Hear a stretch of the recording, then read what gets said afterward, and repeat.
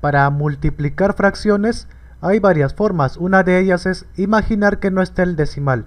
Y si no está ese punto, los ceros a este lado no valen nada. Similar acá.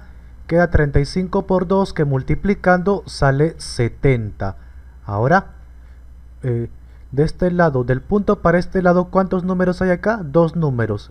Y de este punto para este lado, un solo número. O sea, en total tres.